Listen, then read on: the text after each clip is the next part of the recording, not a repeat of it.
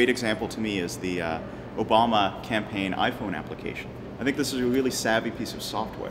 So the campaign uh, put forward this iPhone application you can download to your phone, and it talks about issues and um, you know various kind of marketing almost.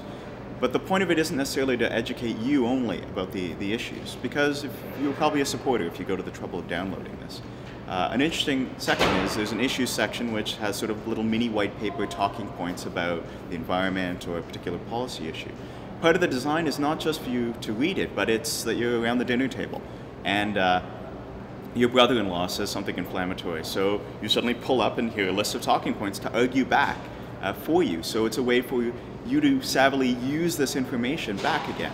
There's also a, a, a section of battleground states that integrates with your phone book on the telephone. So, you know, Florida is listed. Uh, your grandmother lives in Florida. There's a little button that says, "Do you want to call grandma?"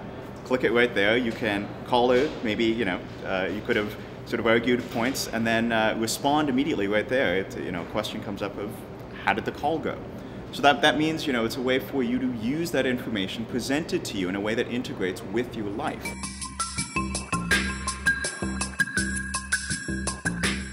So there's a project I work on called, uh, called Diamond Road Online. It's a direct outgrowth of, um, of some of the work of a colleague uh, at the MIT Media Lab, um, Mike Murtaugh and Glorianna Davenport in database-driven uh, documentary, database-driven storytelling. The kinds of stories you tell should make sense in the medium you're telling them.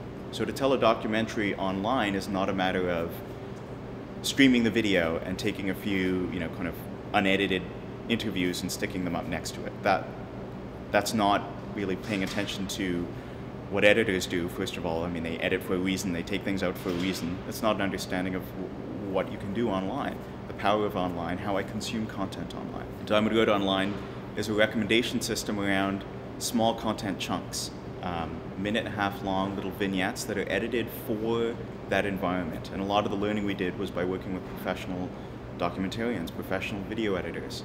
Uh, this was video content where we worked with with professional storytellers and they honed their craft for understanding how to tell a story online. How do you present it in different ways? How do you edit in a different way when you know that people aren't going to necessarily sit for an hour and a half and watch this?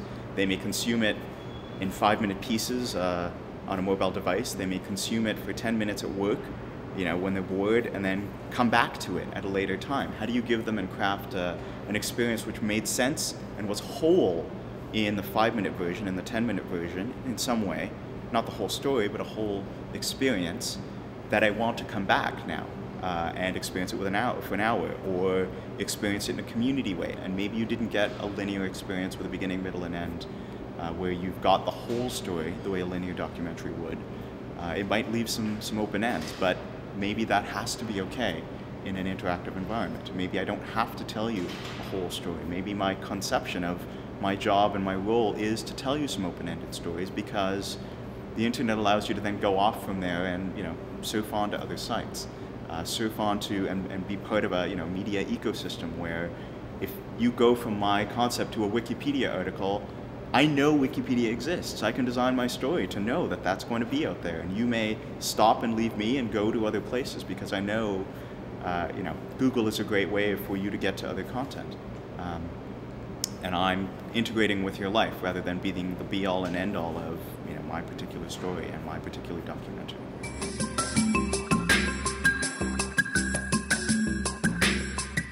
Media is becoming far more integrated in our lives, uh, in all aspects of it. So it's not that there is, you know, a work self that can, can consume certain in a certain way and it's consumption as a model, and then you go home and it's you know a separate thing and you intersect in some way. We're getting this really kind of uh, fluid relationship throughout the course of the day that's growing. We need to think about the ways where we're constantly consuming and producing. We aren't just receiving advertising messages about content which we go home and consume. We are taking something, taking ownership of an idea, uh, remixing it in our head, even if that's not a, you know, remix phenomenon we're putting back out on, the, on, on YouTube. We are taking ideas, sending them to our friends, excerpting something, posting it to Facebook, uh, you know, I think the model of having a, a portal web page that some automated system is pulling out content for you and recommending things, that's not really the way a social being inter interacts with media right now. I get things from people I trust. Uh, I get content recommended to me. I get news stories recommended to me, and then I turn around and reformat that and send it out to a friend, mention it in a conversation, forward it in a Twitter, uh, you know, post it in an email, put it up on a blog.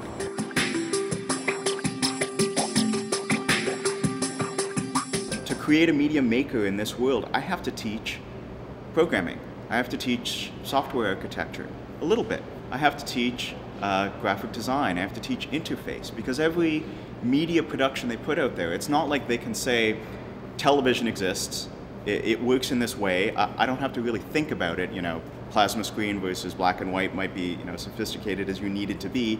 That's not true anymore. Every media creation they make, whether it's a dramatic story, uh, a documentary, news and information, they need to understand that it's going out in these various directions. It may be an iPhone application. What, what, what the iPhone application documentary is, I don't know, but I know it's not the same as a television documentary.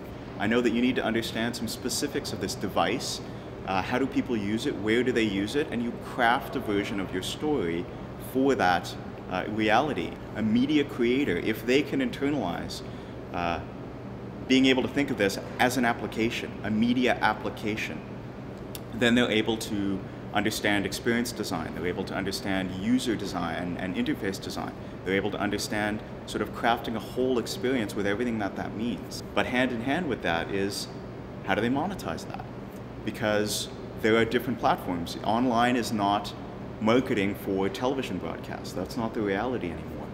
It may be, but there may be a new broadcast model. There may be a new financing model. There may be a new sales model that exists because you know, you can pay for a download of an iPhone application. Maybe there's a micropayment model. Maybe there's a sponsorship model. Maybe there are two or three things you tie together. That is custom to your media project. That is custom to the experience you're making. There's not a single model that works for every project. You can tell different kinds of stories. You can reach people in a different way. You can reach people for different amounts of time. Uh, you know, you do something that's maybe got a game element growing from a storytelling perspective of whatever it is you do and you may not be doing a one hour mass media thing, you may be doing a smaller audience for 30 hours.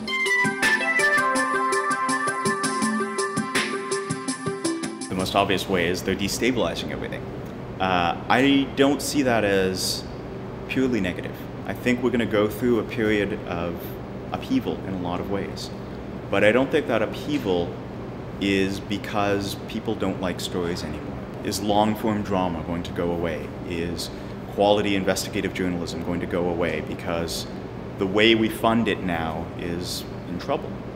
Um, my response is there isn't less interest in that. There's a trouble with the infrastructure that we use to get that. So, you know, if you complain about piracy or what people are BitTorrenting online, the problem is not that no one's consuming this kind of content. The problem is that they are consuming it, they just have another set of uh, tools in order to get to it. So we're going to go through some period of upheaval and our cultures will change and our sense of relationship and our business practices will change. We're going to see flexibility uh, and agility be part of the new sort of way model we deal with content.